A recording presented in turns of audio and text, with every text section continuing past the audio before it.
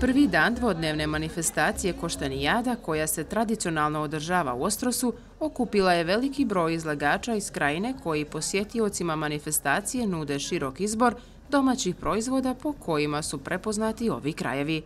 Izlagači su zadovoljni organizacijom Koštanijade kao i interesovanjem posjetilaca za domaće poljoprivredne proizvode.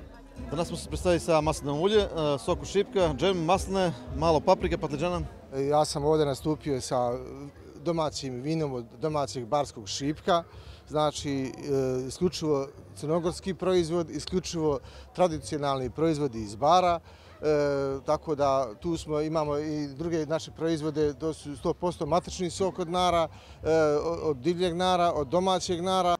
Predsjednik opštine Bar Dušan Rajčević istakao je spremnost lokalnih vlasti da podrže slične aktivnosti sa ciljem afirmacije ukupnih potencijala u poljoprivredi, turizmu i drugim djelatnostima značajnim za širu zajednicu.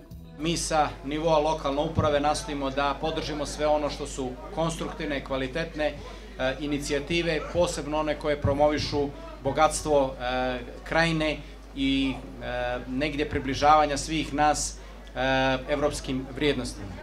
Koliko su ovakve manifestacije značajne za lokalno stanovništvo, poručili su iz mjesne zajednice. Zahvaljujući opštini Bar, prvenstveno i turističkoj organizaciji Bara, mi smo danas ovdje što smo planirali i projektovali sve naše ciljeve, jer ovaj dan je veoma značajan za nas i za krajinu u cijelini.